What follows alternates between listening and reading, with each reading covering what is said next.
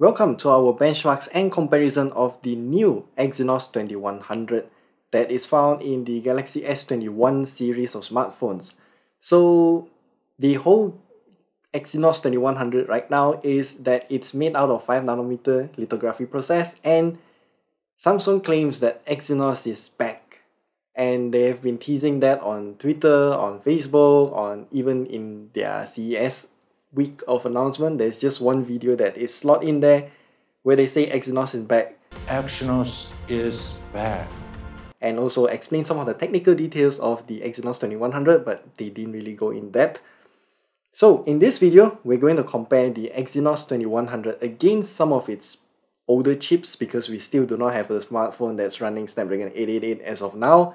So this is the Mi 10T Pro running the Snapdragon 865 and then this is the Galaxy Note 20 that is running the Exynos 990. And here we have the Galaxy S21 Ultra, the latest Ultra flagship smartphone from Samsung that is running the latest Exynos 2100. So let's put all these three in comparison and see how much did Exynos improve and if it's actually better than the previous generation of the Snapdragon chipset.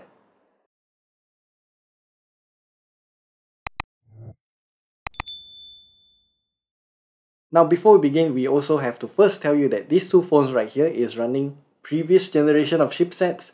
That means they have a full year for driver optimization, software optimization, and also app developers optimizations as well. Whereas the Exynos 2100 here has been in the market for like less than a week or so. So those drivers are still not optimized as of now, but well, we'll have to make do with what we have as of this point in time. Now as for specs, the Mi 10T Pro that we have here comes with 8 gigs of RAM and 128 gigs of storage, whereas the Galaxy Note 20 comes with 8 gigs of RAM with 256 gigs of storage, and then as for the Galaxy S21 Ultra, comes with 12 gigs of RAM with 256 gigs of storage as well. So we will dive into a few benchmarks and we'll start off with this 3D Mark Wildlife benchmark.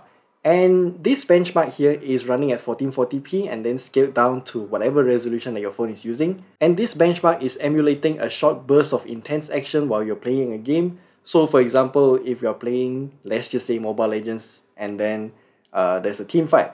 So that's all the intense action happening on screen and this wildlife benchmark is emulating that in the 1 minute benchmark test. And obviously looking at the results right here, the Exynos 2100 in the Samsung Galaxy S21 Ultra just wins both of these two phones by far.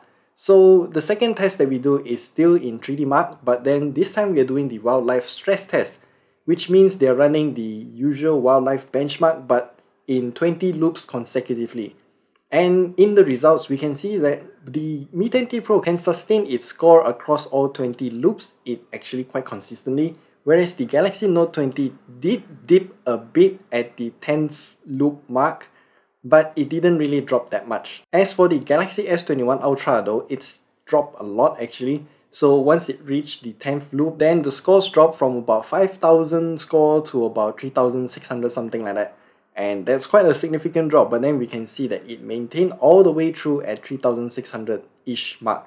By looking at the results of this graph in the 3D Mark Wildlife Stress Test benchmark, we can see that it actually suggests that the Galaxy S21 Ultra is thermal throttling, but we can't confirm that for sure because by looking at Antutu benchmark, it's kind of weird, but we'll talk about that later.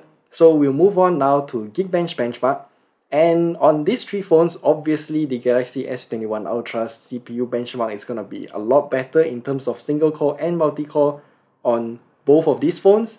Actually, it improved against the Exynos 990 the most. In single core performance, it got 1.5 times better, and then for multi-core performance, it got 1.33 times better than the Exynos 990. And that's a huge leap for the Exynos 2100 against its predecessor, the Exynos 990. And now we move on to Geekbench Compute Benchmark using OpenCL and then we can see that wow, the Exynos 2100 is just superb. It's double the score of the Snapdragon 865 and 1.3 times better than the Exynos 990. That's, that's a huge leap. And then comes Antutu. It is a benchmark that I personally do not like because it aggregates all of the multiple different aspects of a smartphone into a single score. And if you have more RAM, then the score will obviously get better, but that's not the point of this video, I'm not going to talk about that. So if we only isolate both CPU and GPU scores in Antutu benchmark, we can see that the Exynos 2100 here trades blows in CPU benchmark with the Snapdragon 865, but when it comes to GPU, the Mali G78 MP14 GPU that's inside the Exynos 2100 is much better than the Adreno 650 that's inside the Snapdragon 865. And by looking back at the temperature graph in Antutu benchmark, we can see that the Galaxy S21 Ultra it seems to have a phobia against the 40 degrees Celsius mark because it never tends to hit it. And after the 39.4 degrees Celsius, if I remember correctly, the graph just starts to drop in terms of temperature. Perhaps it is thermal throttling, but I don't feel any heat on the phone at all. It's just slightly warm.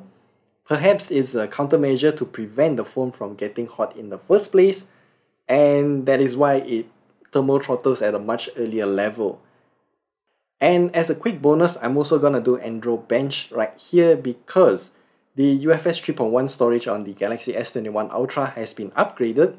And as we can see in this result right here, the scores actually suggest that as well. The Galaxy S21 Ultra is just a lot faster than both the Note 20 and also the Mi 10T Pro, which both of them are also using UFS 3.1 storage chips. And that's it. That's the comparison between the Exynos 2100 against the Snapdragon 865 and also the Exynos 990.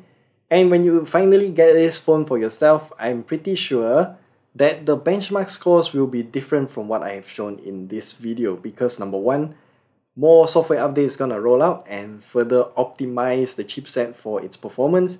And secondly, I think more drivers are gonna be optimized as well. It's gonna get matured for the Exynos 2100. Yeah, that's it. And if you want to know more about the gaming performance of the Exynos 2100, because benchmarks don't really translate into real life performance, do check out our video at the top right corner there and also check out a review of the Galaxy S21 Ultra and we'll see you in the next video.